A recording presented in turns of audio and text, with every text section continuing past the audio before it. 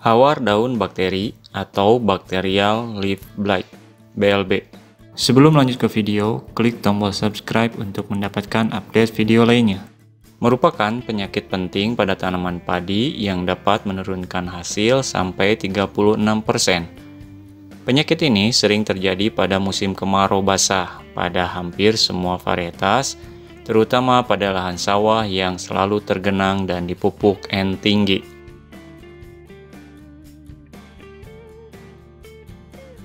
Cara penyebaran Menyebar terbawa air, angin, benih, dan infeksi terjadi melalui stomata atau mulut daun. Perkembangan penyakit BLB dipengaruhi oleh kelembapan dan suhu tinggi.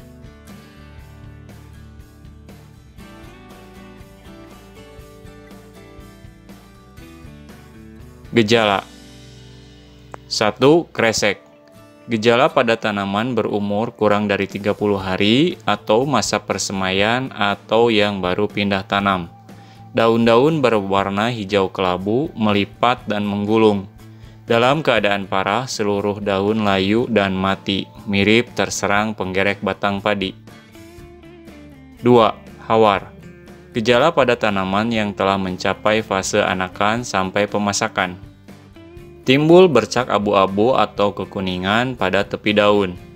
Dalam perkembangannya, bercak akan meluas membentuk hawar atau blight dan akhirnya daun mengering.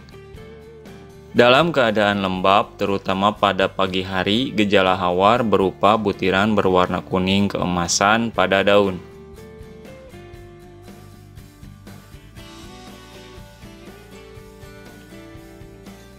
Cara pengendalian Lakukan perendaman benih dengan menggunakan bakterisida atau penyemprotan bakterisida pada umur 14, 28, dan 42 hari setelah tanam.